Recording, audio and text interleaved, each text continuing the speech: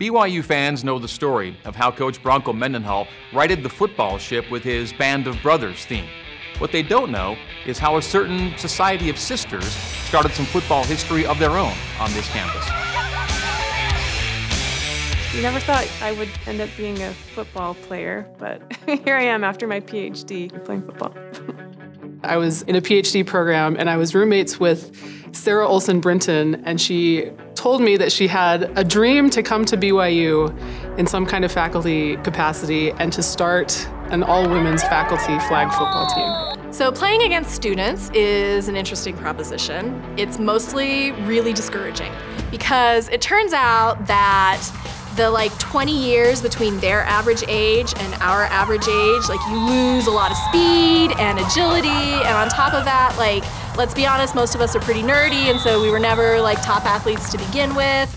I think one of my favorite things about the A-Lot is our sort of it's kind of like sassy humility. We named ourselves the A-Lot, and that is to remind us that at the end of the day, we still have great parking and we, you know, we can take this loss. Our cheer at the end of the game is great parking always wins because we may not have won the football game, but we know that when we come to campus, we can park closer than the students can. I parking M90 ya pumelela okokoko. That means good parking always wins in Xhosa. And Xhosa is the language I use in my research in South Africa. Most of the people on the team have at least three degrees. I'm usually pretty introverted, fairly soft spoken. I do a lot of my work one on one with people, so that works really well. On the field, however, I yell, I'm far more gregarious, willing to take someone down if they're in my way. Easily the most competitive person on the field is Kit. She's a lawyer. I don't know if that has anything to do with it. It's really fun to actually play against a student that you know. So I always scan the faces of the other team before we play, just looking for a familiar face. I think it's just fun to be able to connect with them outside of the classroom. Managing the BYU football roster, that gets tricky with so many student athletes coming and going to serve missions.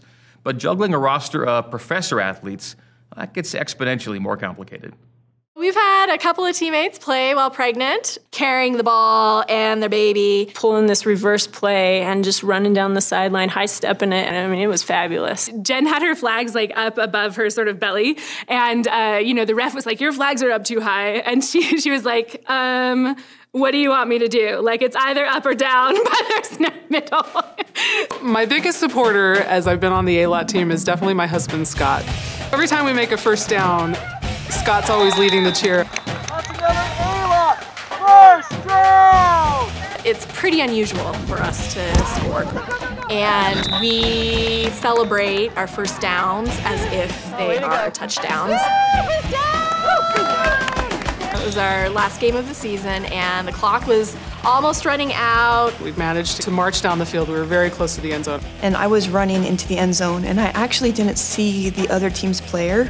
Jen threw the ball just about the time I collided with that other player. I don't remember exactly what happened, so I kind of turned in the air and I threw my hand up to try and knock the football down and got my hand on it, knocked it down, and then I caught it. And then the ref uh, called a penalty. And the ref is actually, well, was in my political science 150 class, so pretty gutsy to do that. I started saying things like, oh, you should deny the penalty, deny, you know, decline the penalty. And, you know, finally they said, okay, we declined the penalty. And, and the ref's like, really? Penalty is declined, touchdown, so we ended up getting the touchdown. If we were there to win, this would have been over a long time ago.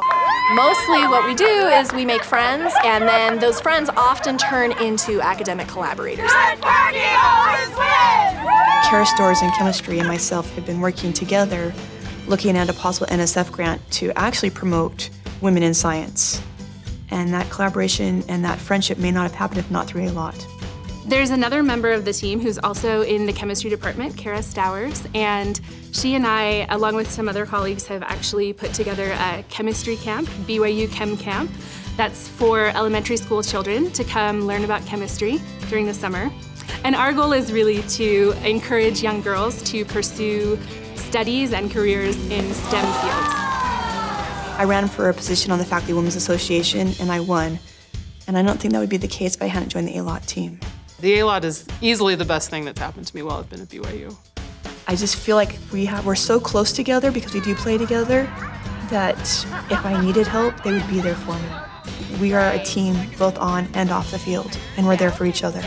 We think it's really important for our female students to see a little bit more of our lives and see us as more well-rounded people and, and give them an idea of the variety of things that adult women can do with their lives. Fourth and goal coming up for A-Lot. Quarterback takes the snap, drops back to pass, throws to a slanting Stevens, tip ball, and after a collision, touchdown, A-Lot! Stevens came down with it. Great parking always wins.